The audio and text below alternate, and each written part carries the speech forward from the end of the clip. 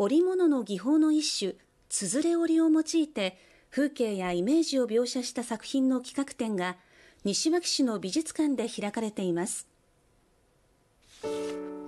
淡く色づいたコスモス。一見絵の具で描かれたように見えますが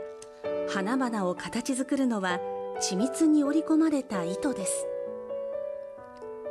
西脇市岡野山美術館では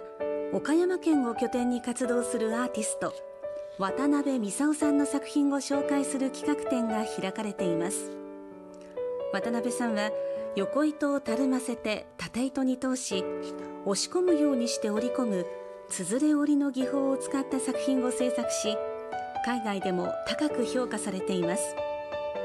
会場ではこれまでの作品14点を関連資料とともに紹介し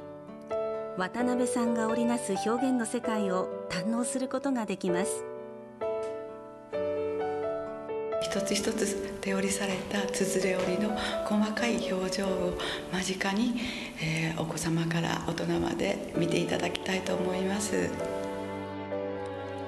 この企画展は7月15日まで開かれています